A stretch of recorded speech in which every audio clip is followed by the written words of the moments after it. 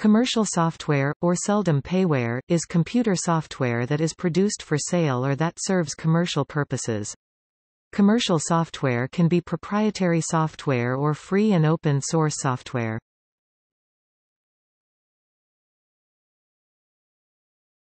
Topic. Background and challenge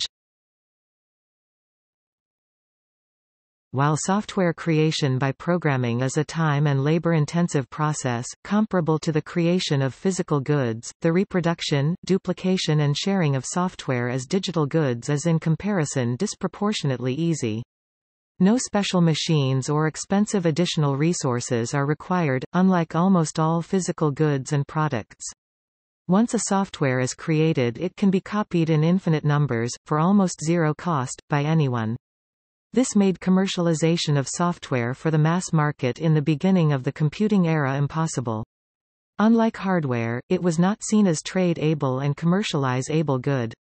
Software was plainly shared for free hacker culture or distributed bundled with sold hardware, as part of the service to make the hardware usable for the customer.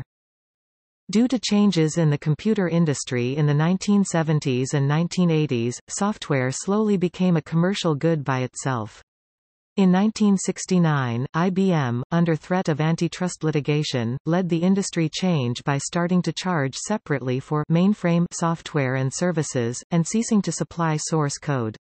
In 1983 binary software became copyrightable by the Apple v. Franklin law decision, before only source code was copyrightable. Additionally, the growing availability of millions of computers based on the same microprocessor architecture created for the first time a compatible mass-market worth and ready for binary retail software commercialization.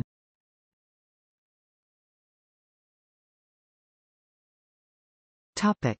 Commercialization models for software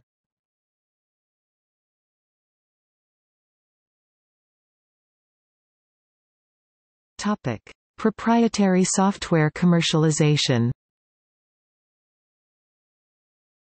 Common business wisdom is that software as digital good can be commercialized to the mass market most successful as proprietary good, meaning when the free sharing and copying of the user's software piracy can be prevented. Control over this can be achieved by copyright which, along with contract law, software patents, and trade secrets, provides legal basis for the software's owner, the intellectual property IP holder, to establish exclusive rights on distribution and therefore commercialization. Technical mechanisms which try to enforce the exclusive distribution right are copy protection mechanisms, often bound to the physical media floppy disk, CD, etc. of the software, and digital rights management DRM mechanisms which try to achieve the same also in physical media less digital distribution of software. When software is sold in binary form only, closed source on the market, exclusive control over software derivatives and further development is additionally achieved. The reverse engineering reconstruction process of a complex software from its binary form to its source code form, required for unauthorized third-party adaptation and development, is a burdensome and often impossible process.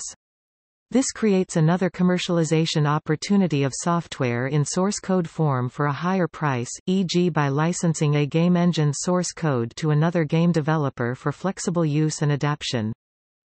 This business model, also called research and development model, IP rent model, or proprietary software business model, was described by Craig Mundie of Microsoft in 2001 as follows, C companies and investors need to focus on business models that can be sustainable over the long term in the real-world economy. We emphatically remain committed to a model that protects the intellectual property rights in software and ensures the continued vitality of an independent software sector that generates revenue and will sustain ongoing research and development. This research and development model, based on the importance of intellectual property rights was the foundation in law that made it possible for companies to raise capital, take risks, focus on the long term, and create sustainable business models. A an economic model that protects intellectual property and a business model that recoups research and development costs have shown repeatedly that they can create impressive economic benefits and distribute them very broadly.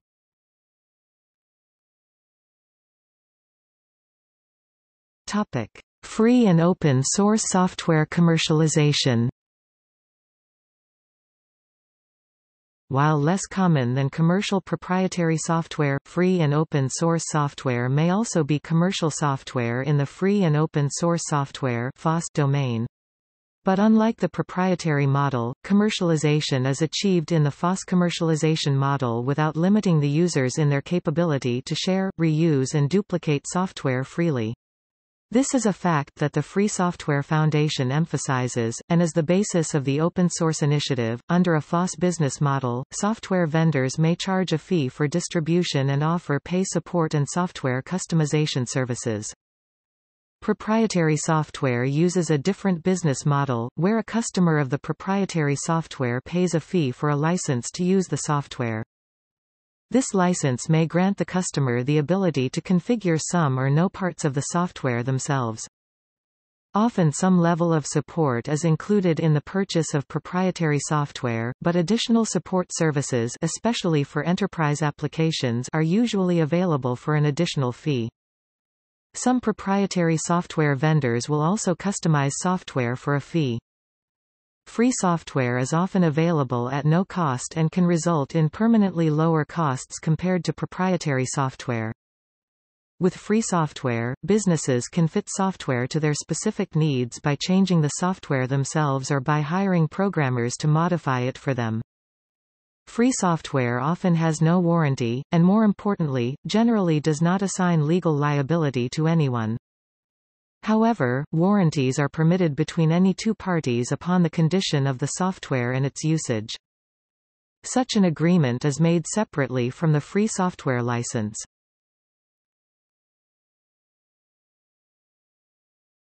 Topic. Reception and impact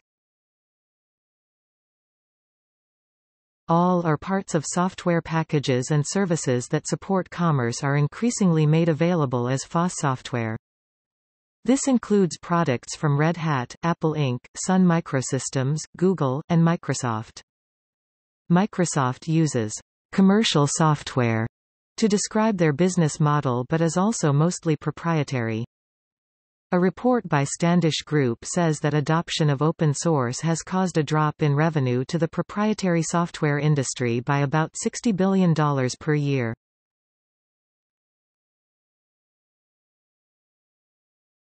Topic. See also. Commercial off-the-shelf Retail software. Proprietary software. Gratis versus Libre. Shareware